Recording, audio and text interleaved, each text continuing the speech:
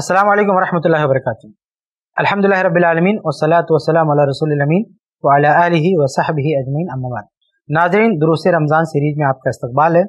आज के दर्स का उनवान है रमज़ान और एतकाफ़ आज हम एतकाफ़ के बारे में बात करेंगे और एतकाफ़ के चंद मसाइल, जो अहम अहम मसाइल हैं, वो आपके सामने रखते हैं। सबसे पहले देख लेते हैं कि एतकाफ़ का माना क्या है।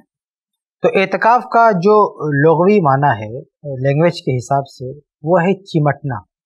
एतकाफ़ का माने चिमटना लेकिन शरीयत की अतलाह में, यानी इस्लाम में, लफ्ज़ एतकाफ़ का मतलब ये है कि एक आदमी मस्जिद में अपने आप को ठहरा ले कुछ मखसूस इबादत के लिए, मखसूस अंदाज में मस्जिद में ठहरा ले। और आमतौर से जब हम एतकाफ़ का लफ्ज़ बोलते हैं तो रमज़ान में जो एतकाफ़ होता है, वही चीज़ मौजू बहस होती है आमतौर से। तो यह है एहतिकाफ़ का मफहम। आगे बढ़ते हैं, अब ये देखते हैं कि एहतिकाफ़ का हुक्म क्या है। यानी क्या ये फ़र्ज़ है, वाजिब है, सुन्नत है? तो इस बारे में सही बात यह है कि एतकाफ़ ये सुन्नत है। ये फ़र्ज़ नहीं है, ये ज़रूरी नहीं है, ये सुन्नत है। बाद लोग इसको फ़र्ज़ किफ़ाया कहते हैं, लेकिन, इस बात की भी कोई दलील नहीं है कि ये फ़र्ज़ किफ़ाया है। ये सुन्नत है, अगर कोई करना चाहता है तो ठीक है, बहुत बड़ा सवाब इसमें, लेकिन अगर कोई नहीं करता है तो इसमें कोई गुनाह नहीं तो ये इसका हुक्म हो गया। आगे बढ़ते देखते हैं इसका वक्त क्या है। यानी कब आदमी एतकाफ करे। तो देखिए एतकाफ का कोई भी खास वक्त नहीं है। जब आदमी चाहे, जिस महीने में चाहे, जिस मौसम में चाहे एतकाफ कर सकता है। इसका कोई ख़ास वक्त नहीं है। अलबत् रमज़ान में एतकाफ़ करने की फजीलत ज़्यादा है और अल्लाह के नबी से उसके बारे में रिवायतें मनकूल हैं। आगे बढ़ते हैं अभी देखते हैं कि एतकाफ़ के शराइ क्या है। यानी अगर कोई आदमी एतकाफ़ करना चाहता है तो उसके लिए क्या क्या शर्त है? तो देखिए, सबसे पहली चीज़ ये है कि मुसलमान होना चाहिए। मस्जिद में चूँकि एतकाफ़ करना है, इसलिए पहली चीज़ ये है कि मुसलमान हो। और ये आम फहम बात है, ये कहने की ज़रूरत नहीं है, मुसलमान ही एतकाफ़ करेगा। और दूसरी बात यह है कि वो आकिल हो, यानी होश में हो और समझदार हो, उसका दिमाग काम कर रहा हो। वरना जिसका दिमाग काम में नहीं है तो उसके लिए तो सारी चीज़ें माफ़ होती हैं। और तीसरा, जो सबसे अहम चीज़ है, वो ये कि मस्जिद होना ज़रूरी है। एहतिकाफ के लिए मस्जिद होना ज़रूरी है।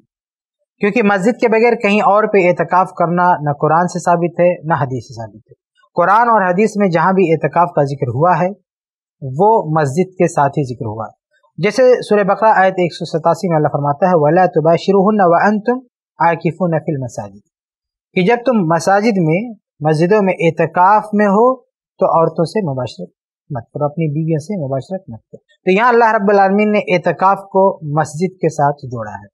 तो अगर मस्जिद के अलावा कहीं और भी एहतिकाफ हो सकता था तो अल्लाह ताला यहाँ मसाजिद की शर्त नहीं लगाता, ये नहीं कहता कि मस्जिदों में एतकाफ़ करो, सिर्फ़ ये कहता कि अगर तुम एतकाफ़ करो तो बीवियों से दूर रहो। लेकिन मस्जिद में एतकाफ़ करो तो बीवियों से मुबाशरत ना करो, ये कहना दलील है कि एतकाफ़ सिर्फ़ मस्जिद में ही हो सकता है।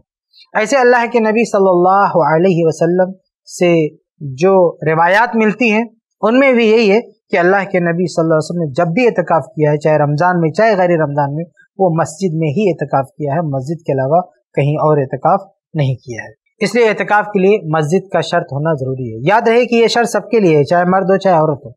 अगर औरत भी एतकाफ़ करना चाहती है तो उसके लिए भी ज़रूरी है कि वो मस्जिद ही में ऐसे बुखारी की रवायत है, एक मरतबा अल्लाह के नबी सल्लल्लाहु अलैहि वसल्लम के ज़माने में अल्लाह के नबी सल्लल्लाहु अलैहि वसल्लम के साथ बाज़ अजवाज मतहरात ने भी एहतिकाफ़ करने की ख्वाहिश ज़ाहिर की तो अल्लाह के नबी वसल्लम ने इजाज़त दी और मस्जिद में खेमा लगवाया।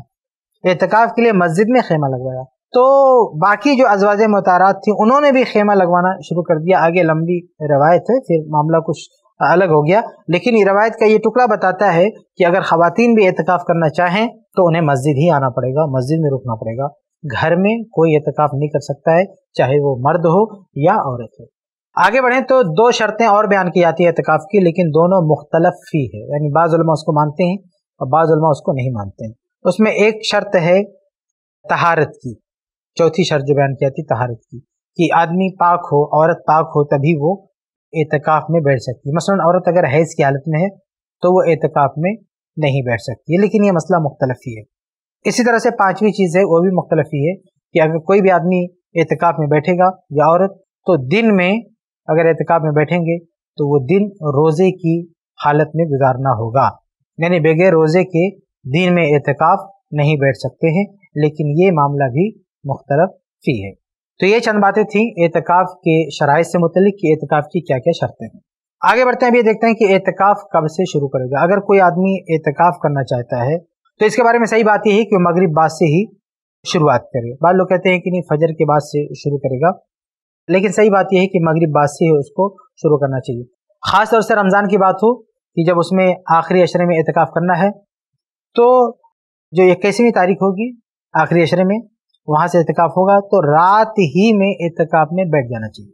मगरब बाद बैठ जाना चाहिए।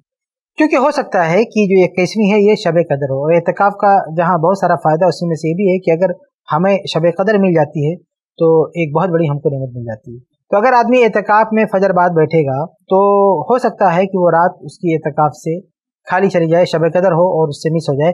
इसलिए मगरब बाद ही उसको बैठ जाना चाहिए। एक रवायत है, जिसकी बुनियाद तो कुछ लोग कहते हैं कि अगर रमज़ान में एतकाब बैठेगा आदमी तो फजर बाद बैठेगा, क्योंकि अल्लाह के नबी वसल्लम फजर बाद एतकाफ गाह में दाखिल हुए थे। लेकिन उस रवायत से यह साबित नहीं होता है कि अल्लाह के नबी वसल्लम उस रात में एहतिकाफ में नहीं थे। हो सकता है कि अल्लाह के नसम मस्जिद में रहे हों, लेकिन जो ख़ास एतकाफ गाह है जहाँ पे बैठते हैं, वहाँ पे आप फजर बाद गए हों, लेकिन वो रात भी अल्लाह के रसूल ने एतकाफ में गुजारी हो, ये हो सकता है। इसलिए हम ये नहीं कहेंगे कि एतकाफ की शुरुआत फजर बाद होगी। हाँ ये कह सकते हैं कि रात भर मस्जिद में कहीं भी बैठ के तलावत कर सकता है, नमाज़ पढ़ सकता है एतकाफ गाय में जब जाए तो फजर बाद जाए, ये हम बोल सकते हैं। लेकिन ये नहीं कहना चाहिए कि वो रात एतकाफ से खाली रहे, वो रात भी एतकाफ के अंदर लेना चाहिए, उसमें इबादत करनी चाहिए, क्योंकि वो रात शब कदर की भी हो सकती है। आगे बढ़ते हैं, अब ये देखते हैं कि एक आदमी एतकाब में है तो क्या कर सकता है, क्या नहीं कर सकता है। तो देखिए, इमाम इबन कैर रमला ने इस बारे में एक उसूली बात बताई है, जो बहुत ही अहम बात है। वो ये कि आदमी जब एतकाब में बैठ जाए तो खालिक से जुड़ जाए मखलूक से कट जाए। उसूली बात है कि एक आदमी जब एहतिकाफ में रहे तो हर वो काम करे, जो काम उसके खालिक से अल्लाह से जोड़े, और हर काम वो तर्क करे, जो काम उसे मखलूक से जोड़े। ये उसूली बात है। बाकी रवायात देखें तो सना नबी दाऊद की रवायत हदीस में दो हज़ार चार सौ तिहत्तर। अमा आयशा रजन फरमाती है कि सुन्नत मौत है कि अगर कोई एहतिकाफ़ करता है तो उसके लिए सुन्नत यह है अल्लाह उदा मरीजन तो मरीज़ की आदत ना करे, वाला यशदा जनाजतन वो किसी जनाजे में शिरकत न करे, वला यमत समरातन वला युबाशरहा, किसी औरत को हाथ न लगाए, उससे मुबाशरत न करे, यानी बीवी से मुबाशरत न करे, वला यखरुजा लिहाजतिन, किसी ज़रूरत की वजह से वो एतकाफ़ गाह से बाहर ना जाए, इल्ला लिमा अल्लाह बुद्दा मिन हो सिवाय उस ज़रूरत के जिसके बगैर कोई चारे कार ना हो। जैसे अगर मस्जिद में बैठा है और मस्जिद में बाथरूम का इंतज़ाम नहीं, उसको नहाना है तो ये मजबूरी है, इसके लिए उसको बाहर जाना पड़ेगा। लेकिन इसके अलावा कोई छोटी मोटी ज़रूरत है तो वो ज़रूरत पूरी करने के लिए वो एतकाफ़ गाय से बाहर ना निकले। तो ये चंद चीज़ें हैं कि एतकाफ़ करने वाले को क्या करना चाहिए और क्या नहीं करना चाहिए। याद रहे कि इसमें जो ये कहा जाता है कि अगर कोई एतकाफ गाय में है तो मरीज़ की आदत ना करे, जनाजे में न जाए तो इसका ये मतलब नहीं है कि उसके घर का कोई आदमी फौत हो गया तो उसके जनाजे में नहीं जाएगा, उसकी आदत नहीं करेगा, बल्कि अगर उसके घर का कोई आदमी सीरियस है, तबीयत खराब है तो उसको वहीं पर एतकाफ तोड़ देना चाहिए। वो चीज़ उससे ज़्यादा अहम है।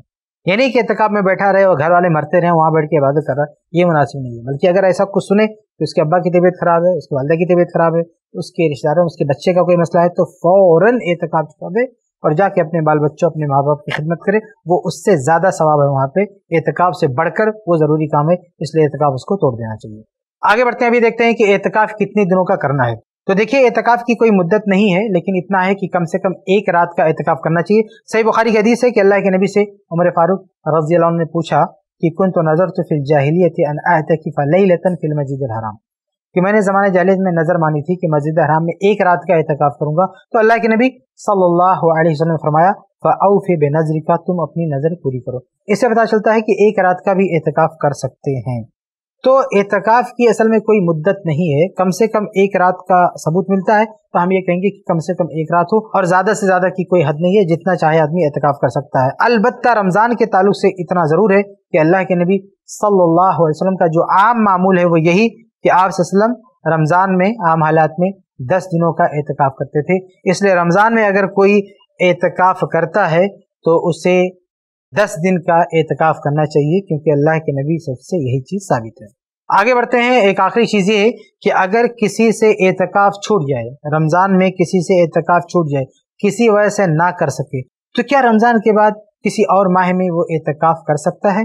तो इसका जवाब यह है कि बिल्कुल हाँ अगर रमज़ान में किसी से एतकाफ़ छूट गया तो शवाल में वो उसकी कज़ा कर सकता है। लेकिन याद रहे कि यह मसला उसके लिए है, जो मुसलसल हर साल एतकाफ़ का मामूल अपनाए हुए हो। ऐसा नहीं कि जो कभी एतकाफ नहीं करता, एक दिन रमज़ान में सोचा नहीं कर पाए तो शवाल में करे नहीं, जिसका ये मामूल हो, हर साल एतकाफ करना, किसी वजह से रमज़ान में एतकाफ नहीं कर सका तो वो बाद में कर ले। चुनाचे अल्लाह के नबी सल्लल्लाहु अलैहि वसल्लम की हदीस से बुखारी वगैरह की कि एक मरतबा अल्लाह के नबी वसल्लम रमज़ान में एतकाफ नहीं कर सके थे तो अल्लाह के नबी वसल्लम ने रमज़ान के बाद शवाल में एतकाफ किया था। अम्मा आयशा रजा फरमाती हैं, रिवायत के अल्फाज है, तुम अतकफ़ आशरम शवाल कि अल्लाह के नबी जिस साल रमज़ान में इतकाफ नहीं कर सके उस साल शव्वाल के दस दिनों में आपने इतकाफ किया था। तो अगर किसी की आदत हो हर साल इतकाफ करना, किसी साल नहीं कर सका तो रमज़ान के अलावा शव्वाल में कर सकता है, जैसे आजकल कोरोना का मामला है। पिछले साल भी कोरोना की वजह से मस्जिदें बंद थी। अब अगर कोई इतकाफ नहीं कर सका, शव्वाल में कर सकता है। इस साल पता नहीं क्या हो, लेकिन अगर इस साल भी ऐसा कोई मसला हो एतकाफ की आदमी नहीं कर सकता है, जो हर साल कर रहा था तो बाद में इसकी कजा कर सकता है। तो ये एतकाफ से मुतलिक चंद मसाइल थे जो आपके सामने रखेंगे अल्लाह ताला हम सबको इन बातों पर अमल की तोफ़ी किता फरमाए। आमीन रबालमी ऐसे ही और वीडियोस बनाने में हमारी मदद करें।